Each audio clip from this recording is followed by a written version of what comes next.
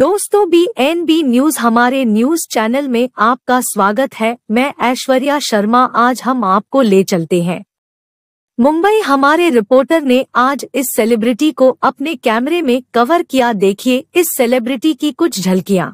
अगर आपको हमारा वीडियो पसंद आता है तो प्लीज़ सबसे पहले हमारे चैनल को सब्सक्राइब करें और लाइक कमेंट करना ना भूले। देखिए, हमारे संवाददाता की खास report Hello friends welcome to my channel BNB News Sanjay Leela Bhansali, Sharmin Segal, others attend Chabak special screening night of murder or romance. The Venture is a Korean film Sanjay Leela Bhansali turned up in support of niece Sharmin Segal's latest production venture, Chabak, a special screening of which was held in Mumbai.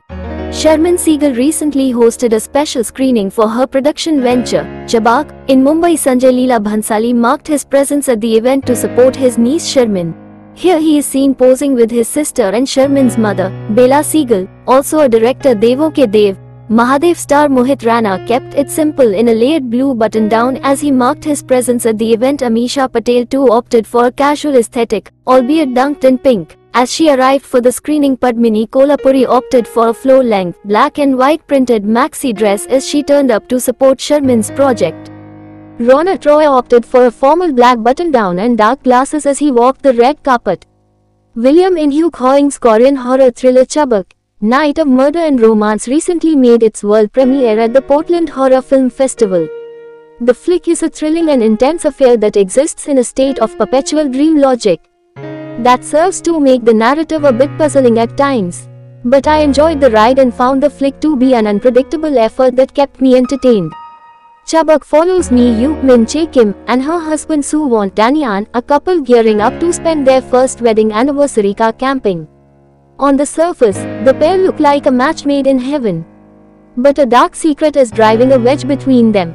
Matters are further complicated when a sadistic masked man enters the picture and starts causing trouble for the young lovers. At first glance, I found the film's supporting characters to be surprisingly unhinged. But the more we learn about the leads, the less stable they seem. So, this is ultimately a film populated with very unpredictable, and sometimes shifty people. As such, you never quite know who to trust.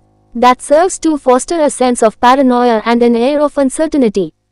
Almost immediately, director William In-hyuk Hoing demonstrates a knack for crafting a bizarre atmosphere that quickly invokes a sense of unease. Even the innocuous sequences that are tinged with romance still manage to have an undercurrent of foreboding. Aside from the ever